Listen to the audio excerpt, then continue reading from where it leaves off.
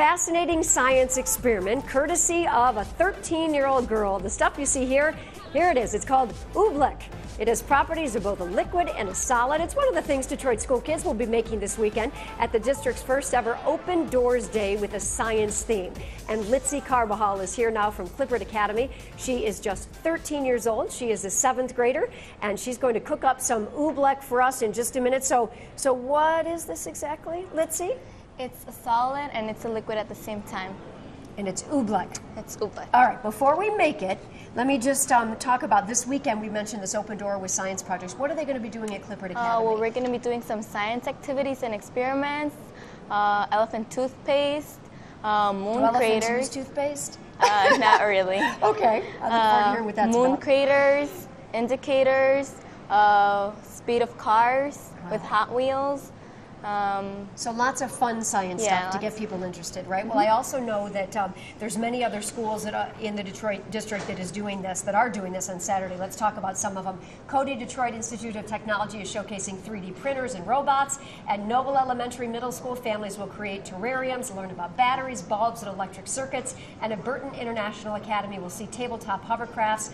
And again, that elephant's toothpaste. Kids will be making their own slime as well. Much more on our website, wxyz.com. Okay, please make oobleck for us. How does this work? uh, it's a solid, it's a liquid, it's oobleck. So to make this Okay. non-Newtonian fluid, you would have to have one cup of cornstarch, Okay, half cup of water, okay, and some food coloring. This is your choice. okay, Okay, now you add the cornstarch to the bowl. okay. I can help with any of this if you need it, okay? Oh, you're gonna All right. help. Oh, I am to help. You hear that? Okay, Now you put some of the water, okay.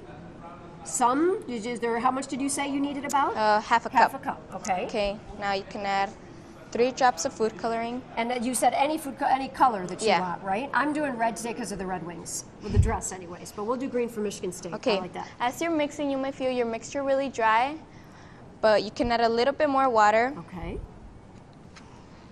Can I kind of play with the oobleck over here? Yeah. Oh gosh. Yeah, sorry. Almost split. This is really kind of cool stuff. It really is. Yeah. Okay, now it's time to play. Okay. You're gonna hold, pick up your oobleck. Yes. And try to hold it into a ball like this. Hold, okay, you want me to hold this in a ball? Yeah. Okay. Try to make it into a ball. Do you feel it getting into a solid? Okay, yeah. Okay, now let go of the ball. And it turns And- liquid. That is so cool.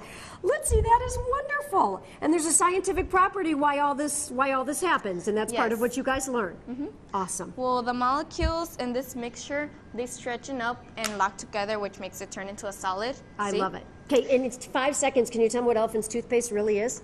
It's a fountain of foam, Okay. And you can make it colored, and it just explodes out of a bottle. I love it. There you go. Thank you, Litzy, for everything. More on our website. I hope you have a wonderful day, everyone. We'll see you again today on Action News at 5. Have a good one.